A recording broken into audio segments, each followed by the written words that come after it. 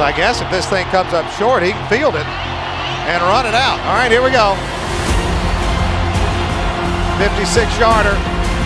It's got, no, does not have the leg. And Chris Davis takes it to the back of the end zone. He'll run it out to the 10, 15, 20, 25, 30, 35, 40, 45, 50, 45. There goes Davis. Oh my God! Davis is going to run it all the way back. Auburn's going to win the football game.